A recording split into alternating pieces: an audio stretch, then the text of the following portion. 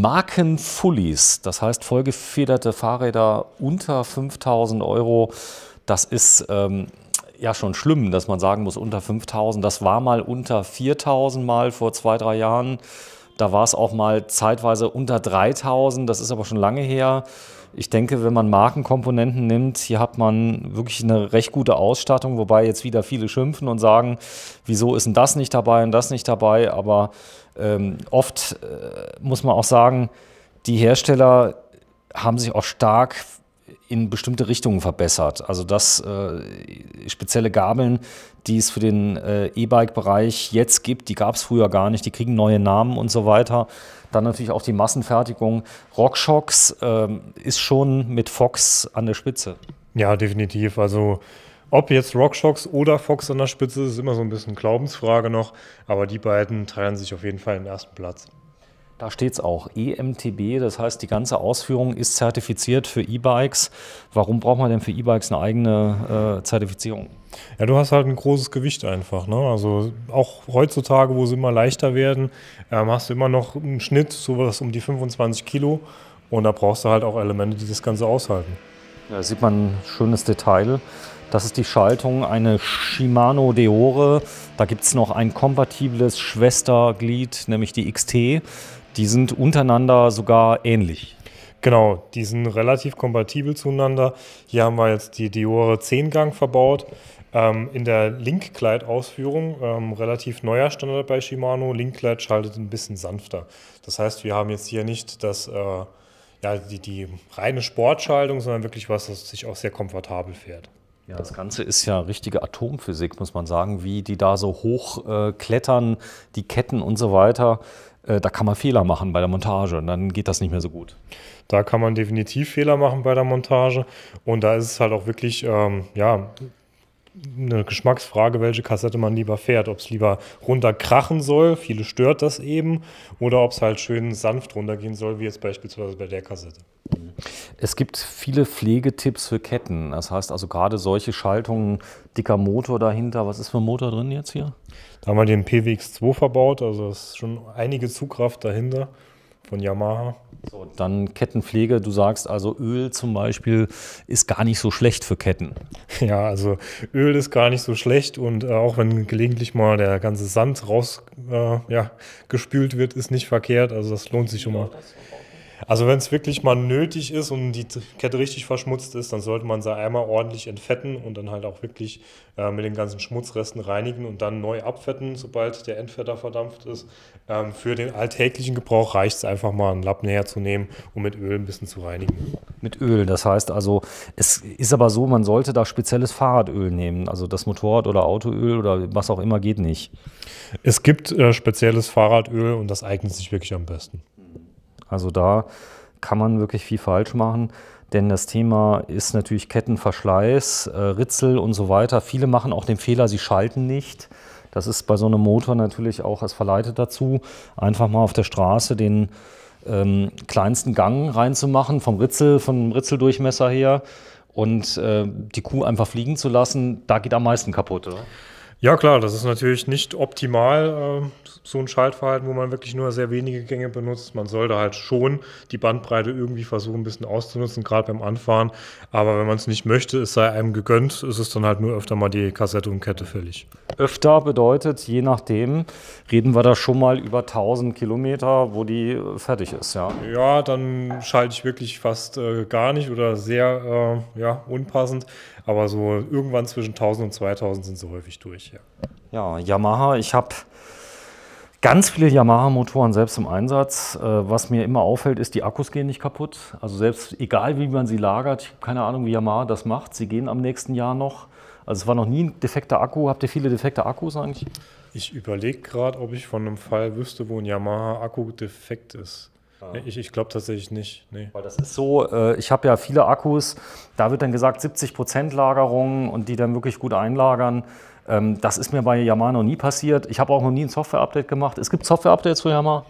Äh, die gibt es tatsächlich nur, wenn es einen akuten Fehler gibt, also so im Rahmen vom Rückruf zum Beispiel. Äh, ansonsten ist das Ding tatsächlich ohne Updates ähm, immer vorbereitet. Plug and Play, also sehr unkompliziert. Der Motor ist auch sehr leise, also es kommt auch noch mit hinzu. Also den äh, PWX2 hörst du im, im Zweifel äh, fast gar nicht, oder? Ja, ist wirklich sehr leise. Also es ist ein Unterschied zu Bosch. Ähm, da gibt es ja so, so ein bisschen Glaubensfrage, was mag man mehr? Ähm, der Bosch zum Beispiel ist ein Stück lauter, hat ein anderes Anspruchsverhalten. Da lohnt es sich einfach mal auszutesten, was einem am besten gefällt. Ja, Continental ist jetzt dick im Reifenmarkt drin. Äh, die kommen jetzt alle, die haben gemerkt, okay, Schwalbe, wir wollen das Feld nicht überlassen. Trail King, das, äh, mit was ist das vergleichbar bei Schwalbe? Ja, das, das kannst du mit so einem Hans Dampf oder äh, Schnobby Nick äh, vergleichen. Das ist ein Reifen, der hat einen leichten äh, Mittelsteg hier, aber schon die Tendenz eher, dass der hier sehr verblockte äh, freie Stellen hat und auch hier die Schulterstollen am, am, an der Seite. Das ist schon ein gröberer Reifen. Ja, Hans Dampf würde ich sagen, in dem Bereich. So, ja. Lucien, grüß ja. dich herzlich. Du Hi. bist der Tobi. Wir haben heute den 28. September. Die E-Bike-Saison beschert euch in Kürze nochmal einige hundert Fahrräder, die kommen. Jetzt können wir ja sagen, jetzt kommen sie alle im Herbst, aber ähm, die Zeichen stehen im Moment nicht so, dass nächstes Jahr es die große Schwemme an Fahrrädern gibt, sondern wer also sein Wunschfahrrad gefunden hat, sollte vielleicht nicht bis März warten. Ja, es ist tatsächlich so, dass wir nicht damit rechnen, dass die große Schwemme äh, im Frühjahr jetzt beginnt. Das ist jetzt momentan so, dass schnell noch das ausgeliefert wird, was bestellt wurde. Da sind natürlich auch die Wartelisten schon relativ lang, aber momentan ist eigentlich ein ganz guter Zeitpunkt, wo man noch so ein paar Modelle in seiner Größe zur Auswahl hat die Größe ist entscheidend. Also viele kaufen die falsche Größe, das passt dann irgendwie. So richtig glücklich sind die Leute nicht. Auf was ist denn da zu achten bei der Größe?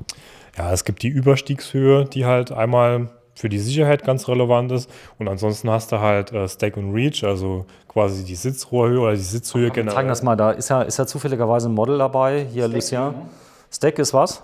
Hier das, ne? Ja. Das ist der Reach. Das ist der Reach. Also wie, wenn, wenn du das mal gerade dich mal draufsetzt, dann kann man das mal am besten zeigen. Ähm, ist das jetzt ein Rahmen für ihn? Das ist ein Rahmen, den könnt ihr auf jeden Fall fahren. Ähm, wir sind jetzt hier im M-Bereich bei 48, oder? Was ja. lachst du denn so? 48 ist ein L-Rahmen, ja. Ein L-Rahmen, siehst du mal. Wir wollen ja den Lucien, der ist ja fast 1,80 Meter. Wollen wir nicht kleiner machen, als er ist. Also, du fährst gerne Fahrrad eigentlich? Ja, sehr gerne. War jetzt auch den Urlaub die ganze Zeit am Fahrrad fahren, ja. Also ähm, man muss immer wissen, wenn man äh, in dem Beträ 1,75, 1,80 ist, kann man M, ja gut, wenn man ein bisschen größer wie 1,75 ist, auch in L fahren. Und da ist es abhängig davon, fahre ich eher aggressiv in den Trail rein oder ähm, fahre ich eher auf Strecke. Und wenn ich auf Strecke fahre, kann ich auch mal einen Rahmen größer fahren. Und wenn ich eher ein bisschen abfahrtsorientierter bin, einen Rahmen kleiner. Man sollte ja mit dem Ballen sollte man ja sich abdrücken. Und das ist ja was ganz Wichtiges. Viele haben zum Beispiel die Sattelhöhe grundlegend falsch eingestellt, weil sie den Motor nutzen. Das ist so, als würdest du gebückt gehen, oder? Ja, also das sieht man tatsächlich gerade so in größeren Städten, auch bei uns häufig, ähm, dass die Leute mehr oder weniger den Sattel ganz eingefahren haben und dann vermeintlich bequem drauf sitzen. Aber wenn du da mal 10 Kilometer fährst, dann wirst du sofort Rückenschmerzen haben und Knieprobleme kriegen.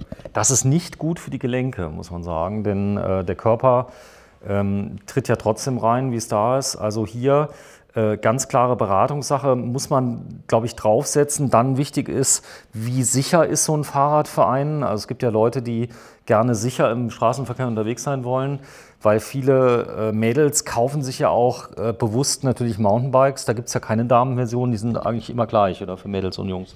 Da gibt es auch Hersteller, die unterscheiden da so ein bisschen, aber grundsätzlich kannst du eigentlich die Teile als Unisex bezeichnen. Ja, das bedeutet also auch hier mal aufsteigen, absteigen und so weiter. Ähm, was ist denn jetzt der Trick zur Sattelhöhe, Lucien? Was, wie, wie stellst du dir den ein, damit du gut treten kannst? Das kommt immer auf den, äh, auf den Kunden halt an. Also bei mir ist es zum Beispiel so, ich will halt immer, dass es so ein, wie du halt eben schon richtig gesagt hast, mit dem Ballen, dann die Kurbel so komplett runter, ne? Und mhm. dann, dass das Knie, jetzt das wäre zu niedrig, dass das Knie so leicht angewinkelt ist. Also es soll nicht komplett durchgedrückt sein, wenn ich mit dem Ballen auf dem Pedal bin. Darf aber auch nicht zu weit, dass ich jetzt so oder so sitze. Das wäre jetzt auch. Mhm. Und dann gibt es halt irgendwann Knieschmerzen. Was auch Knieschmerzen verursachen kann, wenn ich mit so Schuhen wie hier den, so äh, Jog, Tour, also Turnschuhen, äh, Laufschuhe oder halt so ähm, Freizeitschuhe fahre, weil es, biegt, es, verbiegt sich ja halt die Sohle beim Fahren, ne? weil der das Pedal da drauf drückt und wenn ich dann hier so eine, eine Fehlhaltung habe im Knie, tut es schnell weh im Knie. Und mhm. da sollte man auch Fahrradschuhe benutzen, die eine feste, starre Sohle haben. Ne? Das okay. Auch im Mountainbike-Bereich. Ja, auf jeden Gerade Fall. Also man muss auch nicht unbedingt mit Klicks fahren. Es ist halt wichtig, dass ich halt eine feste Sohle habe, dass ich auch, habe ich auch eine bessere Kraftübertragung und kriege dann auch mehr Power auf die Straße. Ne? Man muss nicht alles aus dem Akku rausziehen Ja, Raymond, ähm, also die Amerikaner gucken immer ganz neidisch auf unsere ganze E-Bike-Vielfalt. Die ist, glaube ich, weltweit in Deutschland einmalig. Ja. Ich glaube, es gibt keinen Markt auf der ganzen Welt, der so viele Anbieter äh, hervorgebracht hat. Und äh, Raymond ist tatsächlich eine Firma, die aus Deutschland kommt. Genau, bei Schweinfurt sitzen die. Ähm, dort werden die Räder auch assembliert und ist halt eine Marke, also sie nennen sich German Performance Bikes, das ist so ein bisschen der Wahlspruch und es trifft eigentlich auch ganz gut zu. Ähm, du hast solide verarbeitete Räder mit wertigen Markenkomponenten und ähm, kannst eigentlich davon ausgehen, dass du immer ein gutes und auch preiswertes Komplettpaket bekommst. Ja, ganz wichtig, unter 5000 Euro. Wie liegen wir hier vom Preis? 4699 Euro. Und das ist mit dem, mit dem Komponenten, die wir haben, schon eine gute Sache. Wo, wo ist der Zettel, der Preisschild? Das Preisschild? Ein ganz neues Rad, was wir gerade frisch aufgebaut haben. Ich weiß gar nicht, ob das schon. Nee, ich hätte es sonst abgefilmt, aber das heißt, ich kann es ja mal einblenden. Es Trail heißt Ray Trailray E80. E80. Also da kann man es lesen von oben nach unten. Und der Preis gerade nochmal? 4699 Euro. Okay, also da kriege ich ein ordentliches Rad mit tollen Komponenten, Rockshocks, Großer Akku. äh, großer Akku. Äh, groß heißt was? 750? 630. 630 Wattstunden. Habe einen wirklich tollen Motor. Also das ist, äh, ist das der stärkste eigentlich bei Yamaha? Ähm, Im Prinzip schon. Es gibt jetzt noch ein Nachfolgemodell, da kommen noch mal 5 Newtonmeter drauf. Der 3 oder? Aber ja. aber da bist du halt wirklich schon im ja, wirklich sportlichen Bereich. Ja, die hochpreisigeren Modelle, die den kriegen. Und der ist halt momentan auch mit der Lieferschwierigkeit. Also der sollte eigentlich dieses Jahr kommen, wird Ich habe ihn einmal gefilmt letztes Jahr oder zweimal habe ich ihn gesehen. ganz seltenen Top-Modellen. Ne? Ja. Ähm, ja, aber es ist halt Aber es sind 5 Newtonmeter unterscheiden uns. Also es Genau, ist nicht mehr. Ich bin den auch gefahren in Frankfurt auf der Eurobike. Ich habe kaum einen Unterschied gemerkt. Es ist halt, ja. Ich glaube, er ist ein bisschen leichter geworden. Also, Genau, das ist der Punkt. Er ist kleiner und leichter. Das ist es, ja. Aber auch wieder ein paar Gramm. Also, hier stehen wir. Wenn ihr sowas haben möchtet, ihr habt von Raymond noch viel preiswertere Fra- Fahrräder da, wenn man auf Hardtails geht. Genau, also da haben wir Trekkingräder für zweieinhalb knapp oder halt Hardtails mit einem guten äh, Motor mit einer, einem 500er Akku für 2,9, 2,8. Okay, das geht also. Man muss nicht immer das ganz günstige sehen. Ich habe gesehen jetzt, äh, es gibt Mountainbikes jetzt bei äh, einem ganz großen blauen Anbieter. Äh, der hat jetzt mit Mittelmotor und alles rausgebracht. Ich glaube, der lag dann auch bei zweieinhalb, 2,8. Also die können alle, egal wie günstig sie sind, sobald Komponenten, Markenkomponenten im Einsatz sind, äh, das fängt an mit den Laufrädern, bei der Schaltung, bei allem, äh, dann steht irgendwann mal ein Preis X davor, oder? Ja klar, es ist letzten Endes ist der Preis eine Summe der Teile und da bezahlst du nicht immer nur eine Marke mit, sondern da geht es auch wirklich darum, wenn du halt eben eine Shimano-Schaltung verbaust, die kostet so viel, wie sie kostet, egal ob du jetzt Raven heißt oder ein anderer Hersteller bist. So, also tolle Ausstattung, eine höhenverstellbare Sattelstütze mit drin, ein toller Motor, äh, Laufradgröße 27,5. Äh, das da ist eine Mallet-Bereifung, hinten 27,5 und vorne müsste das äh, 920 sein, wenn ich nicht falsch bin, ja.